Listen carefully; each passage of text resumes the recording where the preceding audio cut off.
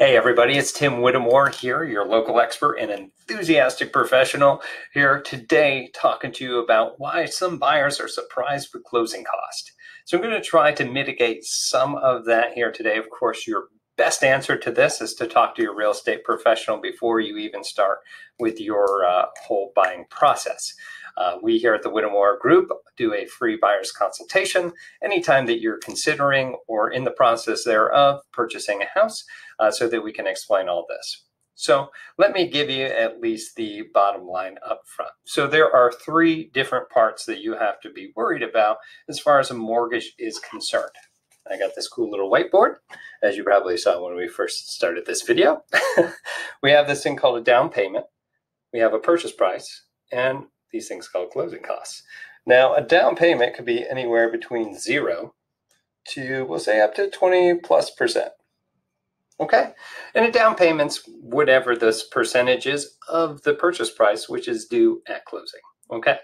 Uh, we have our purchase price. Say that we're looking at homes for two hundred thousand dollars, and we get one sweet discount on that. We end up getting it for one ninety. Well, that's what we do as real estate professionals: is we get you good deals, especially if we can, right? So that's your purchase price. Your next is these things called closing cost. So in most states, uh, you won't pay as a buyer for representation for a real estate agent. Uh, we're actually free to you. The seller, on the other hand, or not the seller, the, you know, I guess the seller, the person listing their house ends up uh, paying for both commissions, not just for the listing side, but also for the selling side. So we, as your real estate professionals, are free representation for you. Can't beat that, right? But on the other side of that, on the flip side, we have these things called closing costs. That's what you got to pay for. It's essentially the cost of doing business, right? So in this price range, your closing costs, we're just going to say, is anywhere between five to seven thousand dollars, which is going to be due at closing. Now that could be a whole lot, and if you don't have that, or you just want to save that to say upgrade the kitchen later or whatever, you can have the seller pay for it. But if we're going to do that, we'll just say that it's five thousand dollars for the ease of math, right? What we're going to do is we'll have the seller pay for it, but we're going to have to incrementally increase this purchase price for that to cover that. So instead of 190, it's going to be 195 as we bring it on over here with the seller paying your closing costs.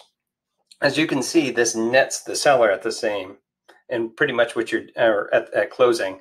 And essentially, what you're doing is you're just financing an extra $5,000 over the term of your mortgage, which is typically 30 years. Okay.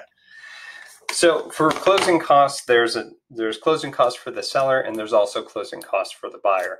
Most of the closing costs, as I'd mentioned before, will be on that side. If you need a comprehensive list of what those are, please do message me or any anyone on my team and be happy to give you those closing costs uh, given the applicable state that you were in. Please do either email or give us a call or a, uh, a text message. Our phone number and information is under this video here. Hope this was useful and we'll see you next time.